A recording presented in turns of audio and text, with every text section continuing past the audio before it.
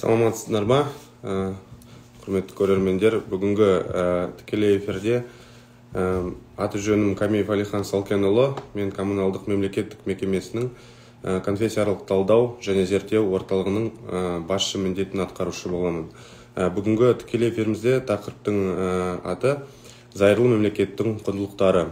Қазақстан республикасында тәуелсіздіктің алғашқы күндерінен бастап дінаралық және бейбітшілік пен келісімді қалыптастыру және қолдау жөніндегі белсенді мемлекеттік саясатпен ерекшеленетін зайырлы мемлекеттің өзіндік бірегей моделі құрылды. Зайырлы мемлекет пен теократиялық мемлекеттің басты айырмашылығы бұл барлық әлеуметтік діни топтардың мүдделерін қорғау қолданыстағы заң аясында барлық діндер мен мәдениеттерге тең жағдай жасау. Зайырлы қазақстан республикасы мемлекеттілігінің конституциялық қағидаты болып табылады. Мәселен 1995 жылы 30 тамыздағы қазақстан республикасы конституциясының бірінші бабында қазақстан республикасы өзінің өзінді демократиялық зайырлы құқықтық және әлеуметтік мемлекет ретінде орнықтырады және оны ең қымбат қазынасы деп адам және адамның өмірі құқықтары мен бостандықтары деп белгіленген. Сондай ақ 2011 жылы діни қызмет және діни бірлестіктер туралы қазақстан республикасы заңының үшінші бабының үшінші тармағында да атап көрсетілген. Ә, конституцияда және басқа да заңдардың құқықтық нормаларында бекітілген мемлекеттің зайырлылығының негізгі белгілерін бөліп көрсетуге болады. Ә, олар діни бірлестіктердің мемлекеттен бөлінуі мынадай нормалармен айқындалған. Ә, заңның мемлекет және дін үшінші бабы. Мемлекет дін мен діни бірлестіктерден бөлінген діни бірлестіктер және қазақстан республикасының азаматтары шетелдіктер мен азаматтығы жоқ адамдар дінге көзқарасына қарамастан заң алдында тең.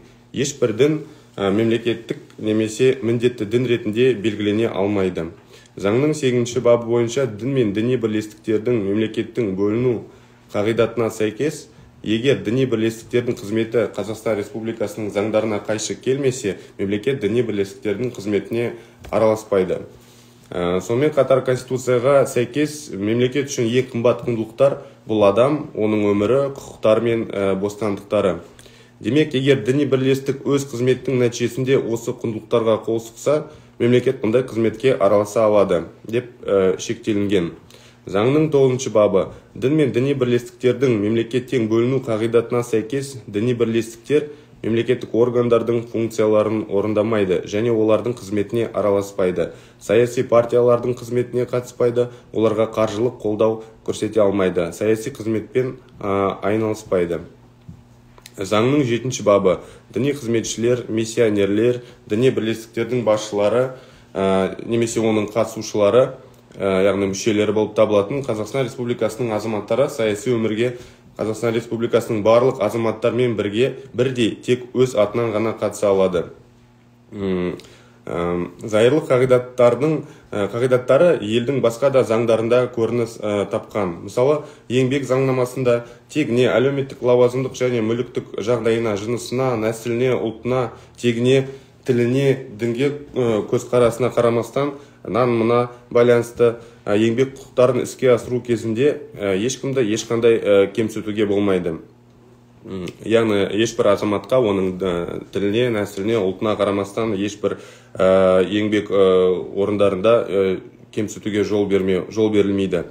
Сонымен бірге еңбек қызметінің тиісті түрлері үшін қазақстан республикасының заңдарын, заңдарына сәйкес белгіленетін немесе әлеуметтік және құқықтық басымдықпен қорғалуға мұқтаж адамдар туралы мемлекеттің ерекше қамқорлығынан туындаған өзгешеліктер ерекшеліктер артықшылықтар есепке алынып мен шектеулер кемсітушілік болып табылмайды. Яғни егер мемлекет тарапынан қамқорлық көрсетілсе өзгешеліктер мен ерекшеліктер шектеулер бұл кемсітушілік ретінде есептелмейді. Қазақстан республикасының еңбек кодексінің алтыншы бабының екінші үшінші тармағында белгіленген екен. Зайырлы қазақстанның конституциялық құқықтық нормаларын талдау мемлекеттің діни ұйымдарымен өзара қарым қатынасының барлық түрлерін мынадай қағидаттар мен көрініс нысандарына жүктеуге мүмкіндік береді екен.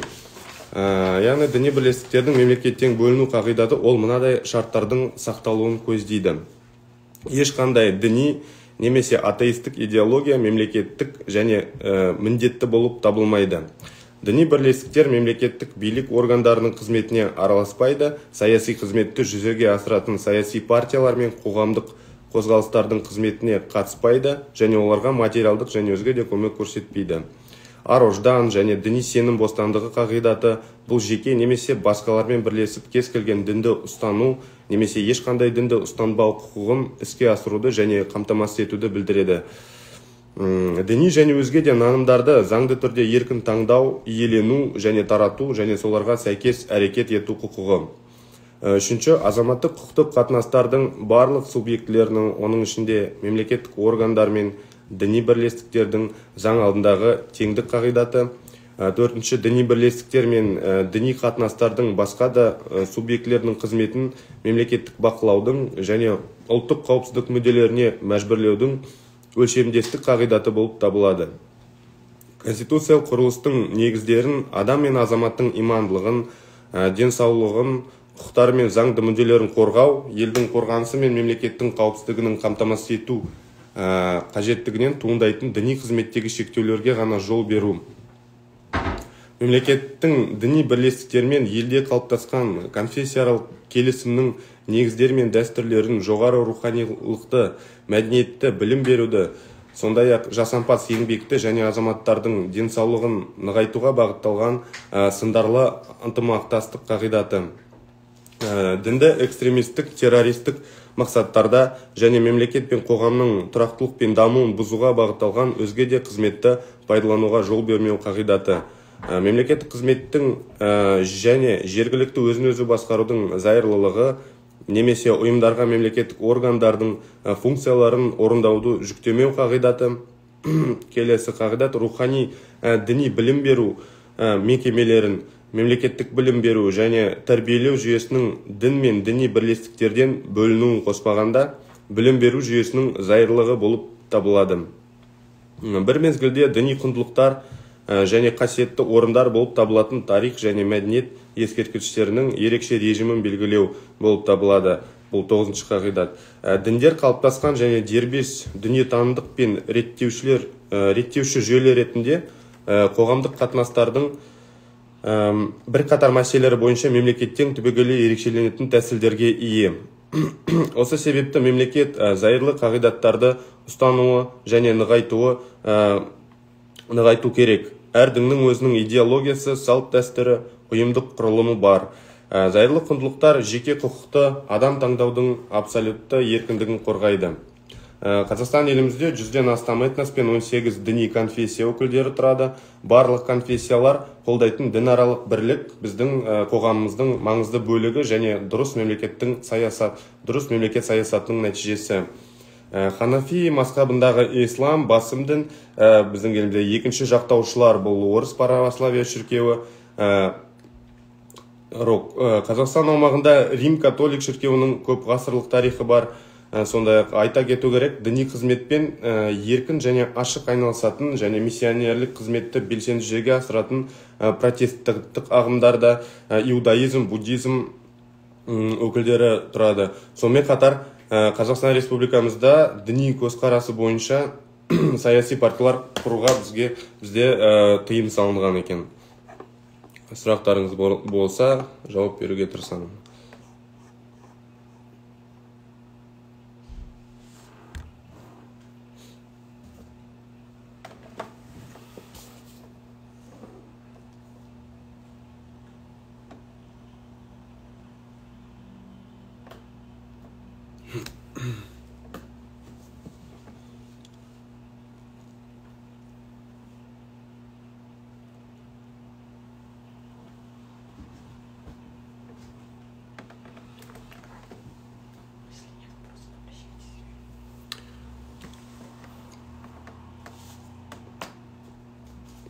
Жақсы сұрақтарыңыз болмаса осымен ә, тікелей эфирімізді тамамдаймыз